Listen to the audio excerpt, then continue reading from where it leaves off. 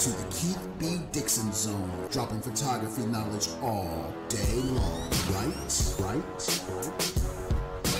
Welcome back to another podcast. My name is Keith B. Dixon, the Kilo Bravo Delta Zone. It's official.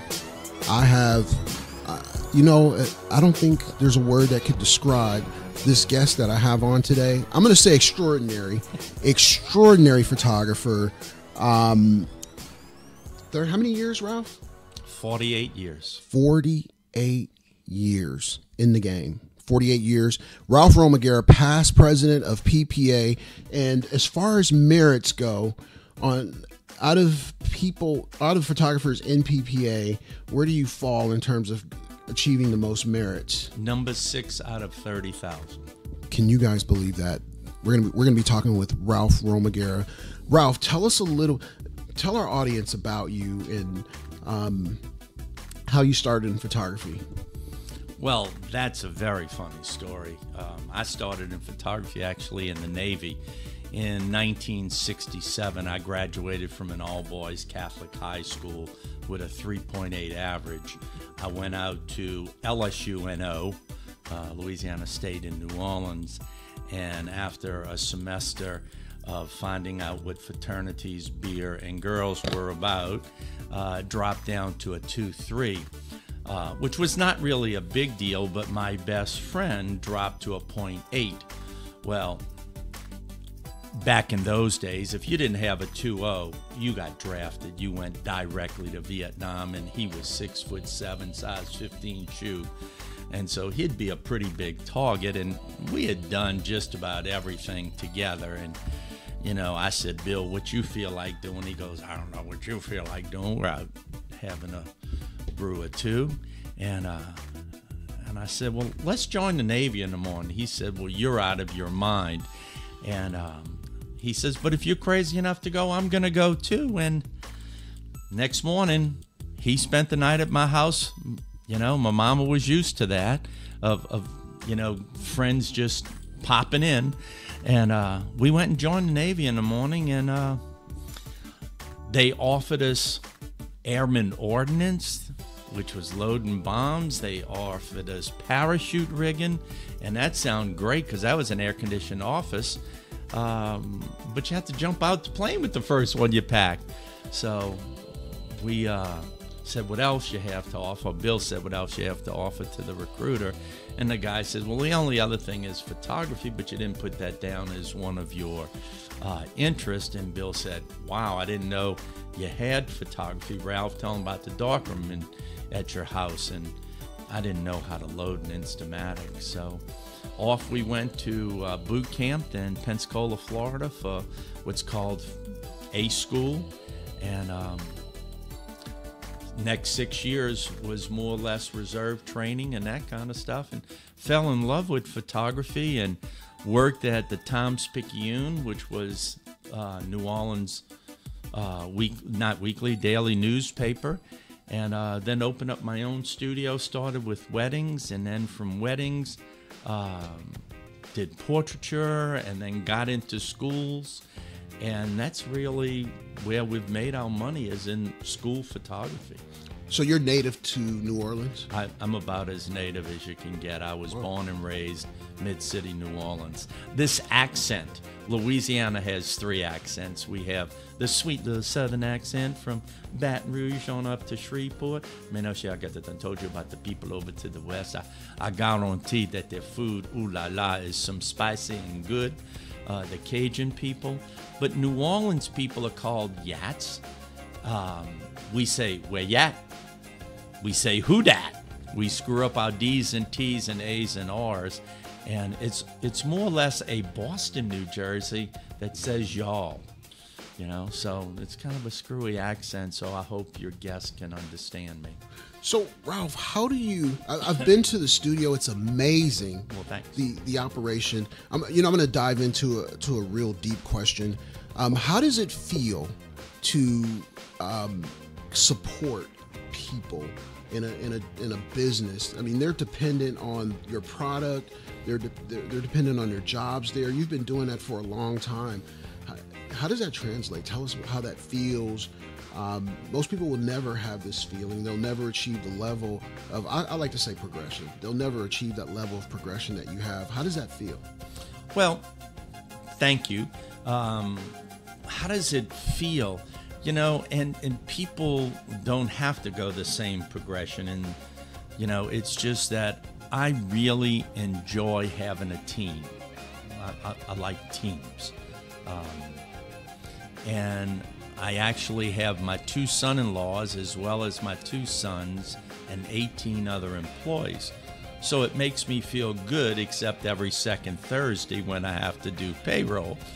But, uh, excuse me, um, it's, it's a great feeling. Um, it's fun to share your love of photography because what we do, what, what, what you do out there, is so important. Every time you push that button, it should be the best photo you've ever done. You know, being in the in the school business, whether that's shooting uh, team sports or individual little snot-nosed kid on school day. You know, unfortunately, sometimes there's tragedy. And the thing that touched me so many years ago is there was a high school student who she was the president of the class and she had an asthma attack and died. Wow. And the mama grabbed me at the funeral and said, You're the only person that has given me my daughter for the rest of my life. What we do is important, and you have to feel, you have to photograph with the passion that that picture might be the last picture that person ever has. So that's a deep responsibility on your part, on my part. But it it's fun. I, I really don't work that much. Cindy and I travel a whole bunch. I show up and smile and have lunch with the guys. Um, go in and talk now and then just to try to, you know, motivate and get things uh, rolling on special projects. But um, it, it, it's been great, and I, I'm just so blessed to um, to be in the position I am. You know, as photographers, we we go through a lot of ups and downs, emotionally, financially. Um, I remember you telling me a story about Katrina, and it, it, you know, I, to this day, I still remember that story about how you guys were were how you guys actually recovered.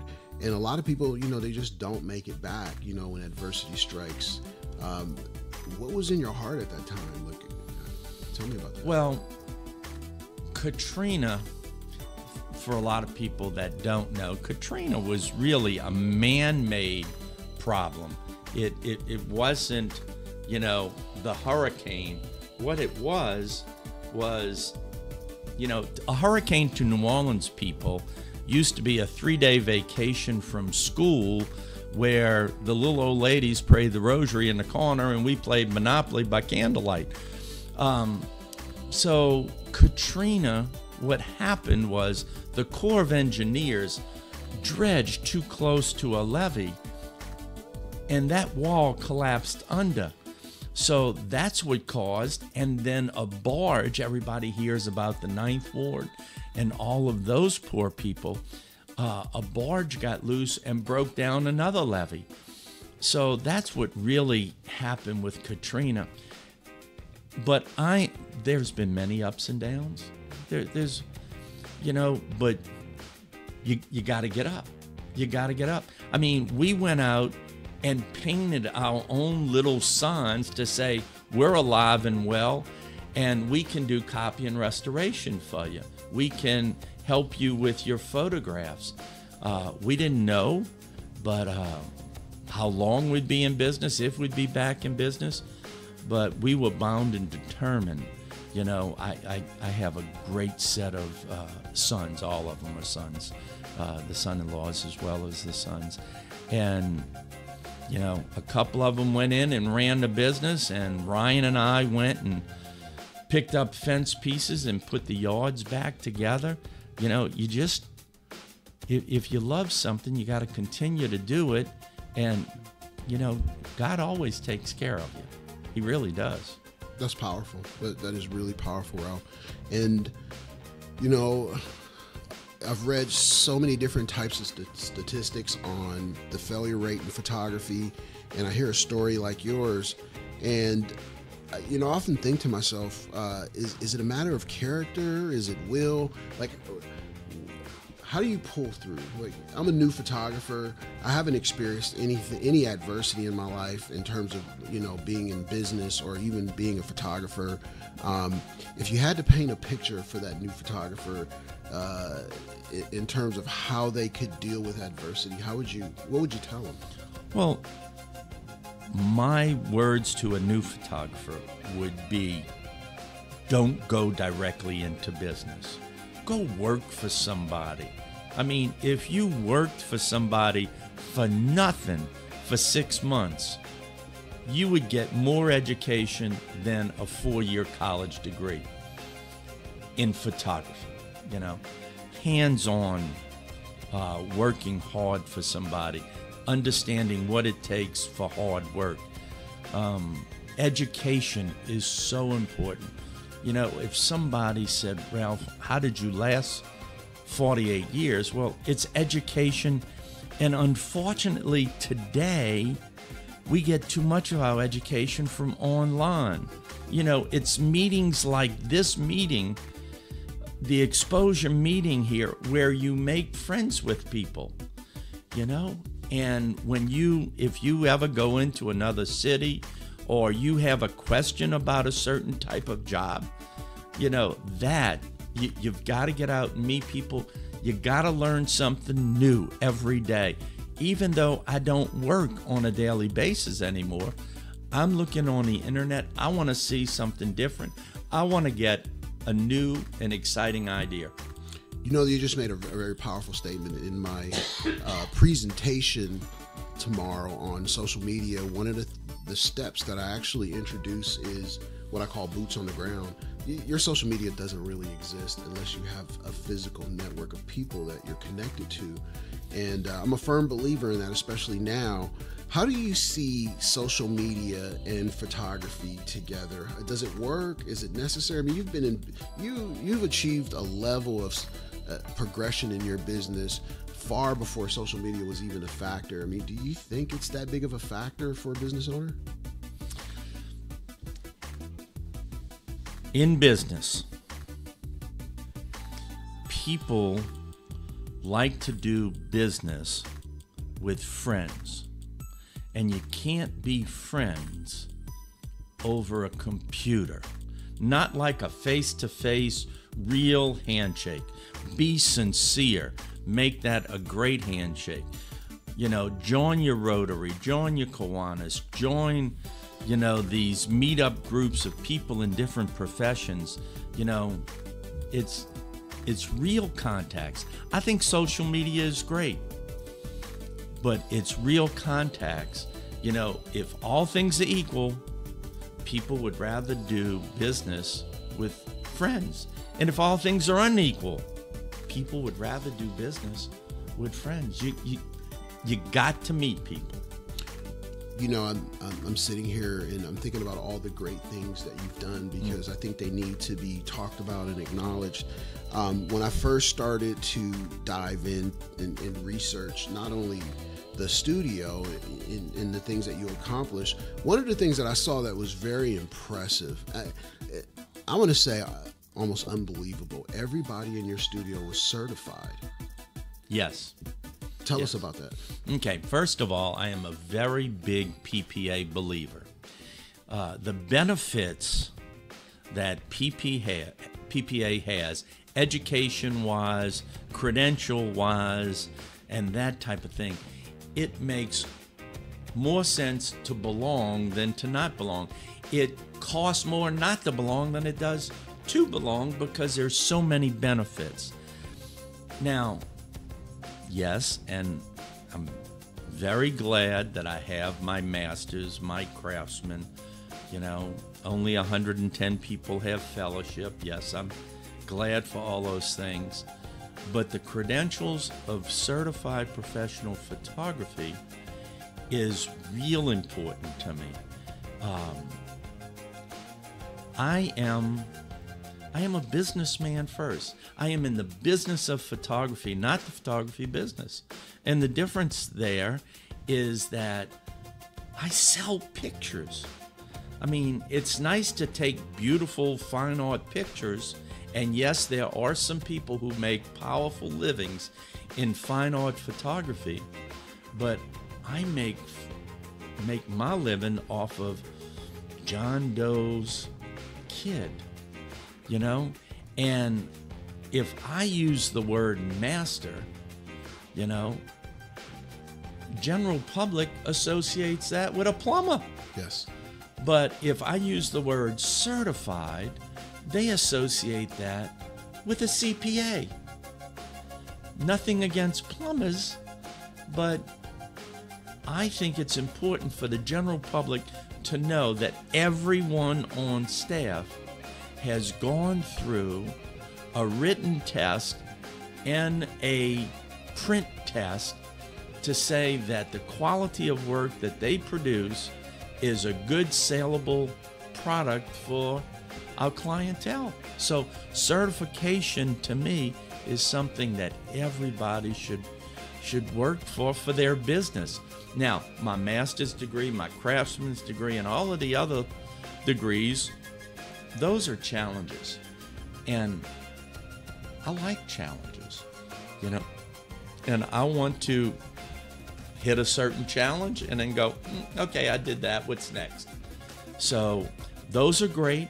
I firmly believe in them. I think people should enter competitions and get their master's degree.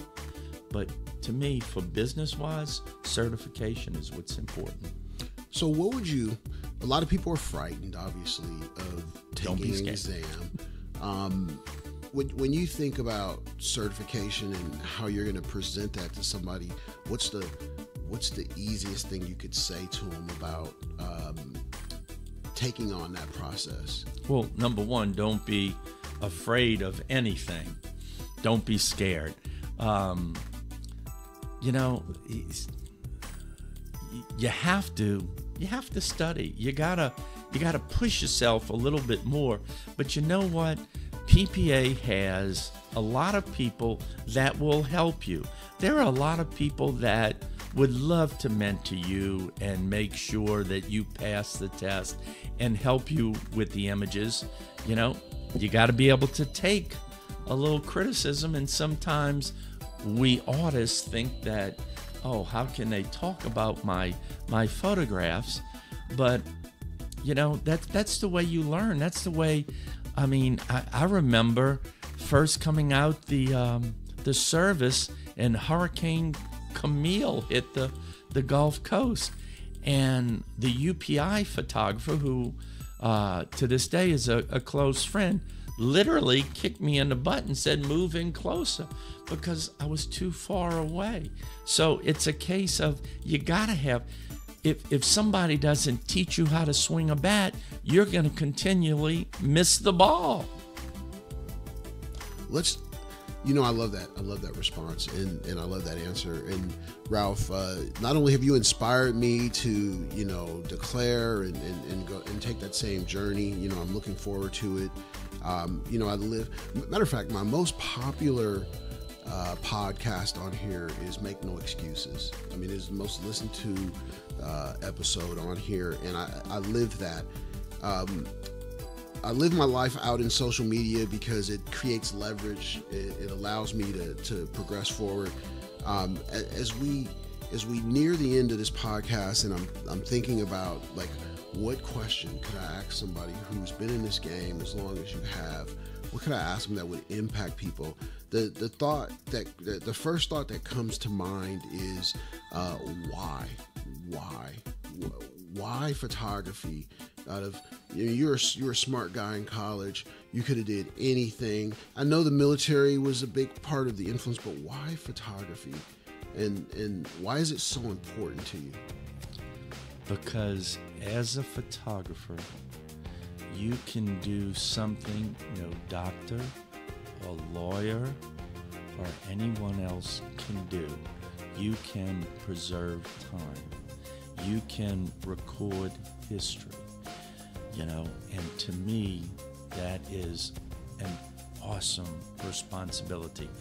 And, you know, the, the camera has taken me places around the world in whether it's photographing at a presidential inauguration or photographing a, the pet of the week. You know, photography, your photograph is very important to someone. And that's a great feeling when they look at that and seeing people tear up and cry at the image that you've made. So it, it's so important. I, I, am so glad that uh, God decided. I, I think He decides everything. And I'm, I'm so glad that He put me on this journey. Well, let me ask you. I want to ask you a sensitive question um, in, terms. This issue of diversity in photography has um, haunted us, and I've, I've always been that person to not really complain, but do something about it. And uh, you know, I'm doing my part and, and, reaching out to people and trying to get us educated as, as people of color. Um, you're a big champion of diversity. And uh, when I first met you and we talked about this, it was almost unbelievable because I had been in photography for so long and um, I never really felt a part of it. And, and I'm, I'm being totally transparent. I never felt a part of it until I met you, and you really gave me and Sean Lee that hope that you know what you guys can do this. Um, where is that coming from? Where where did that where did that drive? Where did that, hey, you have to do this, Keith?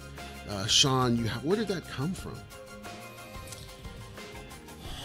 That really came from upbringing, you know, uh, as we would say, home training, you know, that everybody deserves the right for education. And if there are if there is a problem, whether it's political, whether it's photography, whether it's a relationship, it's usually education that that somebody doesn't know that other person, you know. And I just felt and excuse me, but I just felt that the organization that I loved PPA was really too lily white. And, you know, when I got on the board of directors and I gave up my time to be on board of directors and to volunteer, I wanted to make a difference. And I saw where some of my friends didn't have the opportunities that I had. And it's a comfort thing.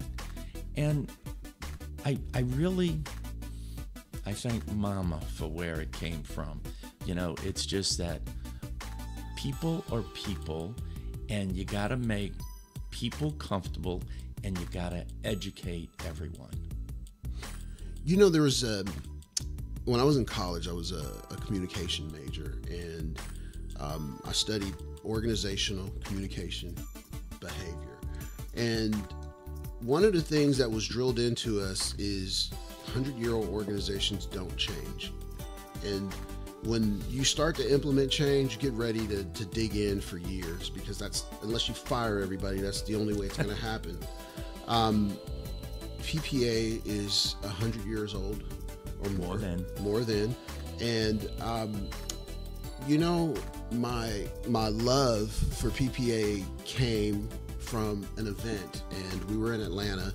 And one of the board members came up to me, and I vo- had voiced some frustration about the magazine and the lack of diversity in it. And he listened intently and made no excuse and um, agreed with me, which really shocked me.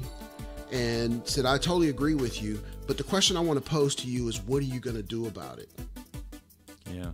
And, you know, it, it really caught me off guard. And then when um, when I met you, um, everything that he said just echoed. And I, I want you guys to know, and I want PPA to know that I really appreciate that. And um, when I'm tired, when I'm frustrated, you know, when I'm caught up in my own world, you know, I always think about that conversation. And, you know, it puts me right back on track with the mission. And Ralph, I want to thank you for that because um, the leverage that you guys put on us in, in this conference and the way it's supposed to be run is very important because it never lets us forget you know what we're, what we're supposed to be doing. So I, I want to tell you I appreciate that. Um, you're you and Cindy, you know I appreciate you guys. Cindy Romaguera, that's uh, Ralph's wife. Uh, I, I, really appreciate you guys. You, you, you've done more for us in this short amount of time than you really know, and uh, I think our, our listeners need to know that having a mentor, people that care about you, people that are that are not going to let you off the hook, I think is one of the most important elements you need in photography. Who would that person be for you? Wow, I, I again feel very fortunate that I came up when I did, and there were some great photographers. Unfortunately, most of them are gone to the big dark room in the sky. Um, but there were people like Donald Jack and, you know, Frank Cricchio and Leon Kennamer and, you know, the Zeltzmans and Monty Zucker and Dean Collins, uh, who died way too early. But, um, you know, back to your statement, you can't change anything until you're on the inside. And there were some things that frustrated me in PPA years ago, and I'm going, you know what? You either quit or you get involved. And there's no no success and excuses, and you get involved and you change things. You know, you do it a little at a time, but PPA is a great organization. Um, we have a great executive director in David Trust in our CFO and Scott Kurkian. I mean, they've made it from almost bankrupt to where they have millions in the bank that I don't know how long it's been, but I think it's well over 10 years that they've even raised dues. You know, so PPA is alive and well, and they have open arms, but it's going to take you, the listener, your involvement, getting involved, whether it's as a volunteer or on a committee, uh, to make that change. That's perfect. And, you know, I, am glad you said that because it, people hear me say it, and it's like, well, you know, Keith is saying that it's working for him. But I believe that PPA work can work for anyone. I mean, the, the resources are unbelievable. Um, I mean, just just on the surface. I mean, and there's there's a lot to it, and we're, we're not going to get into it on this particular podcast. But um, Ralph, I want to thank you. you. Guys, we are at Exposure 101 Detroit 2017, and um, our speaking lineup is insane. We are presenting Ralph Romaguera with the Legends Award, and um, this award is very special the achievement level for something like this is um, it's far reaching and when i look at being able to present someone with an award like this um, the qualifications the, the guidelines for it they're not written they're established these people have set the guidelines themselves so um, we're talking with longtime photographer. He is, I know Ralph is humble, but I'm going to say he is one of the biggest photographers in Louisiana. There's nobody bigger. His operation employs 18, 18 people.